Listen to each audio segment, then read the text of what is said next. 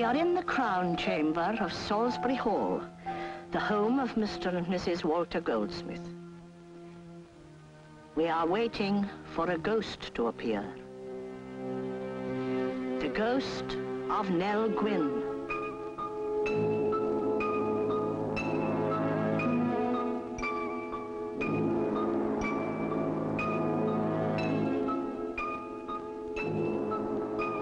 Salisbury Hall is one of the smallest of the stately homes of England.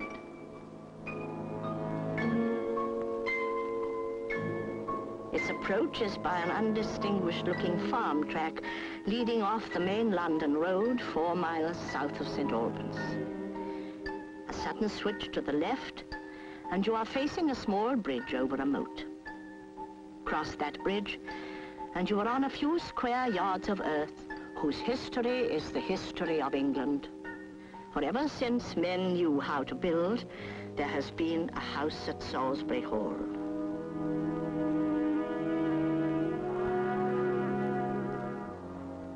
Beneath this floor is hard-beaten earth, which knew the heavy imprint of a Roman soldier's sandal.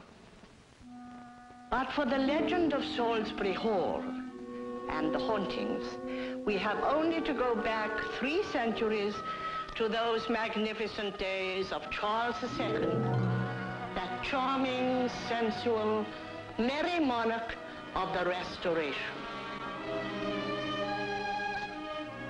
In 1668, Samuel Pepys wrote in his diary, the king did send for Nell Gwyn.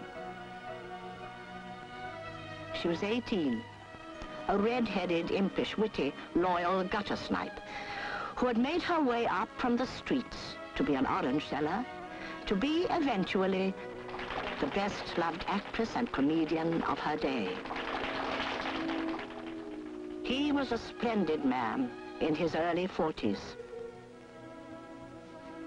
Neither were exactly new to love. The king's mistresses were notorious and legion, and Nellie? Well, Nellie came from the poorest streets of London, where life was lived to its fullest, and pleasure taken when and where one might.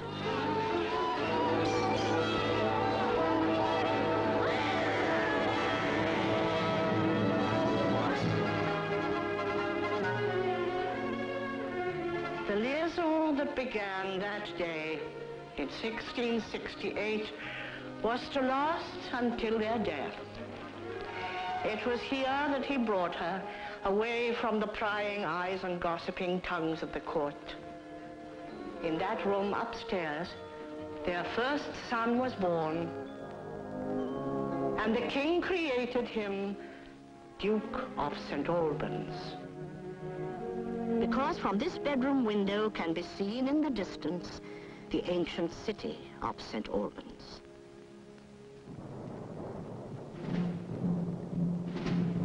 Nellie was only 35 when the king died.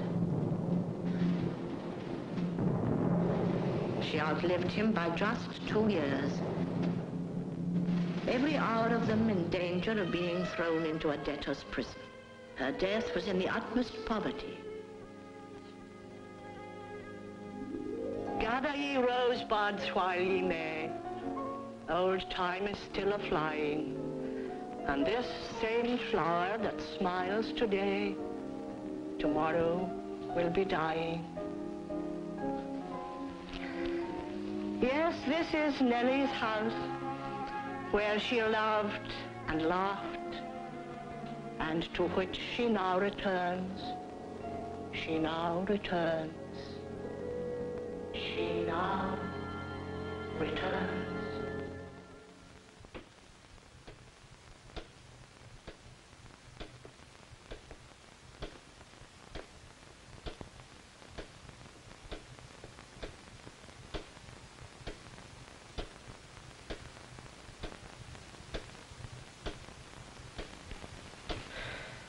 Have you ever seen Nell Gwyn, Mr. Goldsmith?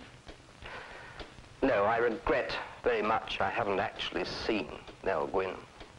But there's a great deal of compelling evidence to show that she does, in fact, reappear.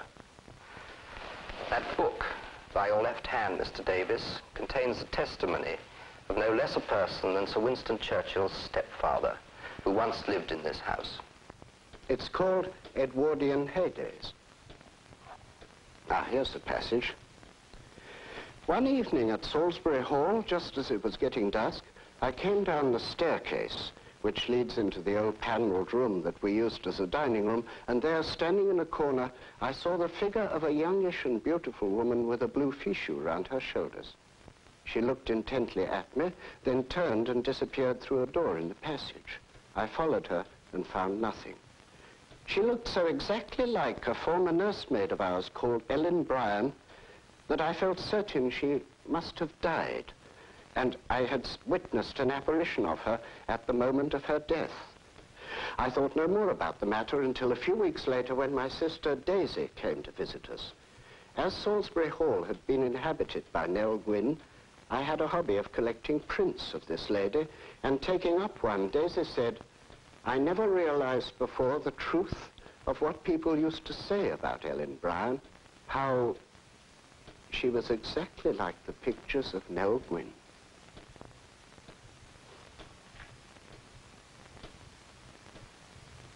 She is here. She's very definitely here. Is she here? I mean, is she in our midst? Oh, yes, without a doubt. But she's fading. I don't think she'll come to this house much longer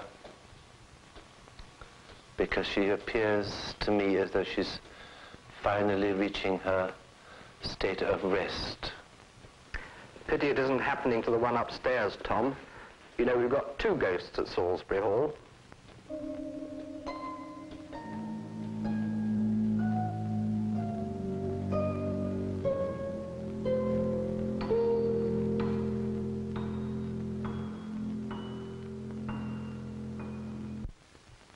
Have got the ghost of a man here. He passed out of this life, I would say, through rather tragic circumstances. We know all about this one. I'd better give you a bit of the background history first. During the Civil War, this was a royalist stronghold, and the whole house was honeycombed with secret hiding places and so on for hiding arms.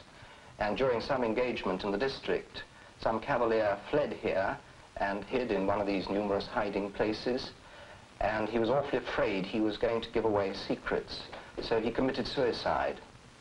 Now, Mrs. Goldsmith has had distinct manifestations of this person. Yes, it happened to me in that bedroom through there.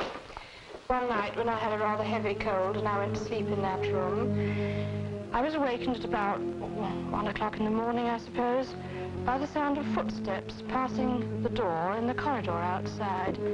I switched on my bed lamp and I expected him to come and see how I was. But the footsteps never returned. In the morning I asked Walter about this and he said that throughout the whole night he'd never stirred. And I've had the same experience several times since then. And to prove that it's not simply my imagination playing tricks on me, I'd like to read you a bit of a letter which I had from Mrs. Rose Stupsaw, who spent her childhood in this house. One ghost often felt by the children was in the bedroom over the entrance hall with the porch dressing room. This was my parents' room, and a child used to sleep at the foot of the bed. Both my brother and my sister were wakened by something terrifying standing by the bed, and this on many occasions. In the same room, my governess spent a night while my mother was away on business. She said something terrifying came through the door and stood by her bed. Another friend had the same experience. This seems the most convincing evidence of an unseen visitor. Indeed it does. Let me ask you a question, Mrs. Goldsmith. He wants us to follow him. Surely there must have been another wing to this house. Yes, it was burnt down in 1813. But this is where the ghost walks. So you see, Mrs. Goldsmith, you may well have been right about the footsteps that went in one direction only. But you're wrong in thinking, Mr. Goldsmith, that you have just two ghosts. On the way in, I found a third one on the bridge leading to the house. More than two. One thing I will say about these grounds, You can hardly dig a spade into the earth without coming up with some archaeological treasure. I found a complete history of artifacts, Roman coins, 15th century spurs. The only thing I haven't discovered is the entrance to the old cellars.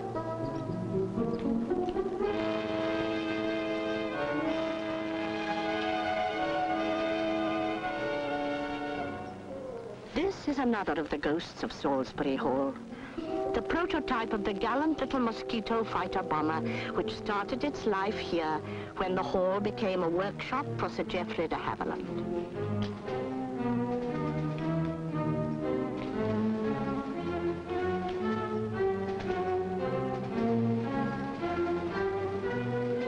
Yes, there's no doubt at all, but you have the ghost of a woman here. I would have said that she's extremely pleasant, and, and uh, if you can describe the word warm-hearted ghost, I'm sure that in life she was. As Tom identified still another ghost, I turned for a last look at this historic and haunted house. My feelings were mixed, as they must ever be when seeking to converse with the world of the spirit. Salisbury Hall had seemed to me aglow with the past. One had felt the presence of Nell Gwyn.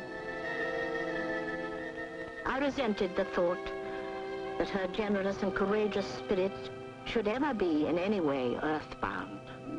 Perhaps, though, she had been seeking again the happiness that was hers for a short while in this house.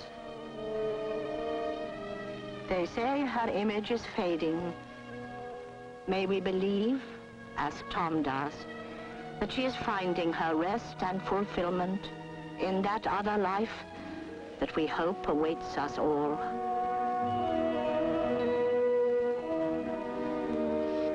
With joy we leave thee, false world, and do forgive all thy false treachery, for now we'll happy live, that thus we happy live.